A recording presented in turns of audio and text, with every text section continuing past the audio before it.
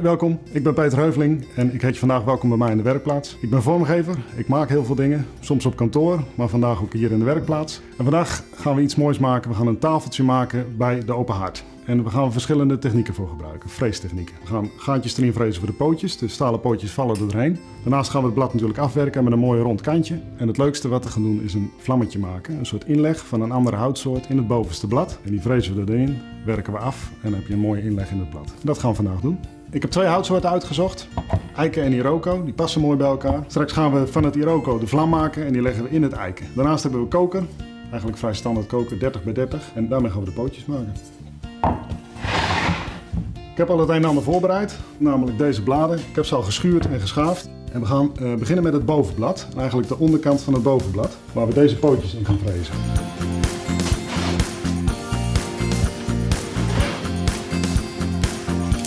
We hebben hem afgetekend, we gaan beginnen. We doen met de dremel en daar heb ik dit attachment voor, een hulpstuk. En dat is een plungerouter waarmee je dremel exact haaks op je hout staat en je dus heel recht kan frezen. En je kunt de diepte instellen. Dat gaan we ook even doen. Ongeveer 20 mm dit hout, dus in 4, 5 stappen. Dus ik pak ook ongeveer 4, 5 mm, daar kan ik hem op instellen. Qua doe ik ongeveer 20.000 toeren. Is nog wel redelijk hard hout. En we willen toch een beetje rustig gaan beginnen, dus niet volop. En het freesje wat we gebruiken, dat is een freesje 652. En daar wil ik ook even wat over uitleggen. Ik heb hier een wat grotere frees om het te laten zien. Die draait natuurlijk en die slaat het hout weg. Dan kun je met de vezels van het hout mee en dan gaat hij eigenlijk splinteren. Als je tegen de vezels in, dus de andere kant op loopt, neemt hij eigenlijk kleine hapjes weg. En dan wordt je freesje, je lijn veel netter. Ik werk graag zittend, zodat je niet boven op je dremel kijkt, maar juist een beetje van opzij erin. En je zit wat rustiger, dus je kunt wat rustiger met je handen werken. Ik heb nu een stukje gedaan. Dus als je ziet hou ik hem op deze manier vast. Normaal gesproken doe je dat hier aan die twee knoppen. Maar ik vind het heel lekker om dat ook één hand hier te doen. Zodat je heel rustig en precies langs je lijntje kan werken.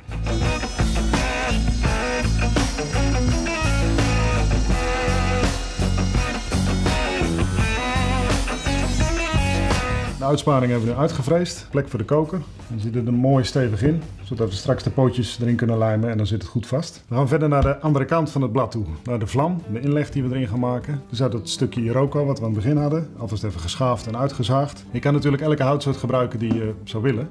Er zijn een aantal hele mooie soorten. Er zijn ook een aantal soorten die wat minder geschikt zijn. Ik heb een aantal voorbeelden. Bijvoorbeeld deze houtsoort. Dit is teak. Er zitten hele mooie donkere en lichte groeven en kleuren in. Die komt heel goed naar voren als je het lakt of met een mooie lichte was. Dat is Purple Heart voor Guarabu. Hele mooie houtsoort. Als je het zaagt is het donker. Zodra er wat zonlicht bij komt, dan wordt hij helemaal mooi paars. Mooi te gebruiken met eiken of bijvoorbeeld met een lichte houtsoort zoals essen. Dit is Surinaams hardhout. Mooie heldere bruine kleur. Maar is wel echt kei en keihard. Is wat minder geschikt om doorheen te frezen. Dan is de kans groot dat je pitje verbrandt. Allemaal verschillende soorten en kleuren. Dus ga ermee aan de slag en ga het zelf ook proberen. We gaan met de vlam beginnen. En de eerste plek bepalen. Dan vind ik het mooi om in de verhouding van het blad, de onderkant en de zijkant, maar dan iets meer afstand aan de zijkant. Zodat je mooi in verhouding met ook de rechthoek van het blad blijft. Dus ik kies ervoor om aan de onderkant 7 cm te doen en aan de zijkant 10 cm. De volgende stap die ik ga doen is dat ik met een mesje over mijn lijn een beetje in ga snijden.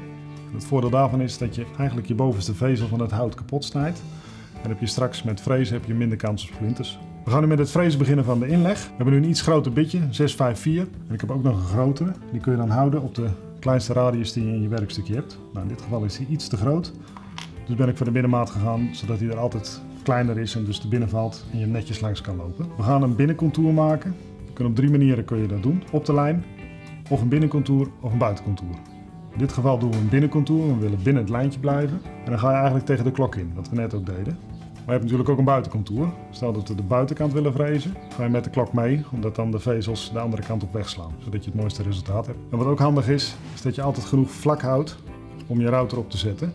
We gebruiken de truc eilanden. Gaat langs de lijn heen, ongeveer een centimeter aan de binnenkant frees je weg. Maar in het midden laat je nog wat staan.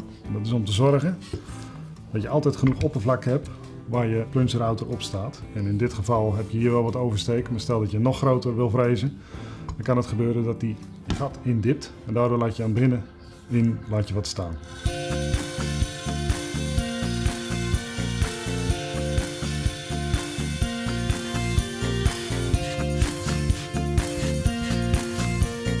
Als ik ga frezen, dan doe ik dat met een rustige schuine inloop. Dat heeft ermee te maken dat je onderkant van je freesje het snijvlakje niet altijd doorloopt. Dus kun je eigenlijk nooit recht naar beneden toe en dan loopt hij daar tegenaan.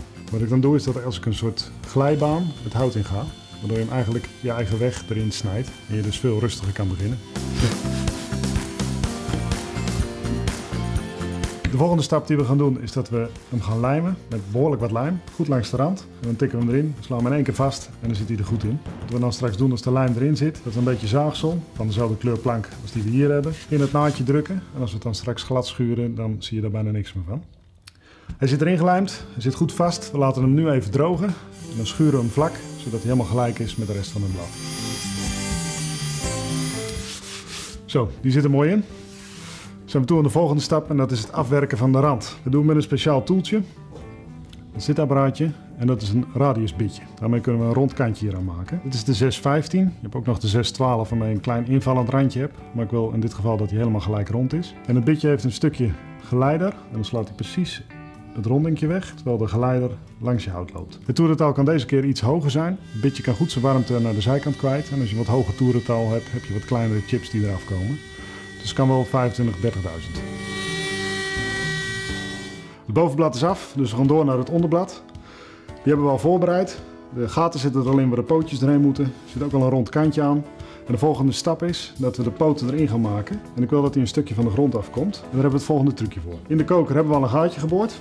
Die schuiven we erin dat het gaatje precies in het hout valt. Dan schroeven we daar een schroefje in, zodat hij goed vast zit. Maar ik vind het mooi als het schroefje wat dieper zit. Dus wat we gaan doen, we boren hem een klein stukje in. Dan valt die schroef dus wat dieper erin. Dan hebben we een deuveltje, die tikken we in dat gat, lijmen we daar vast in. Die zagen we af, schuren we af en dan heb je een mooi verzonken schroef.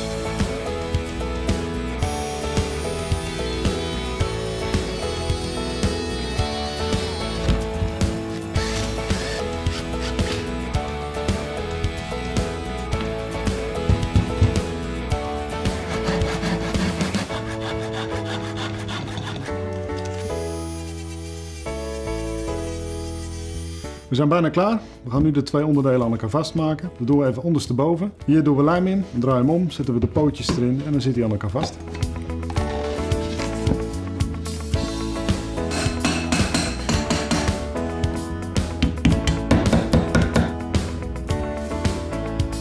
We gaan het tafeltje nog even nabehandelen. Dat kan het bijvoorbeeld met lak.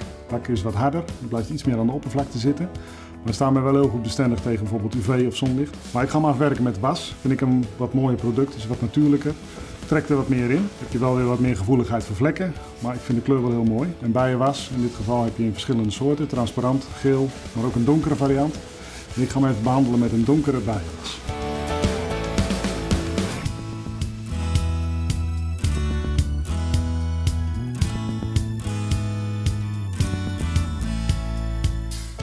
Hij is af. Ik vind hem heel mooi geworden. Ik hoop dat je er wat aan hebt. Mooie vreesbewerkingen en ga ermee aan de slag.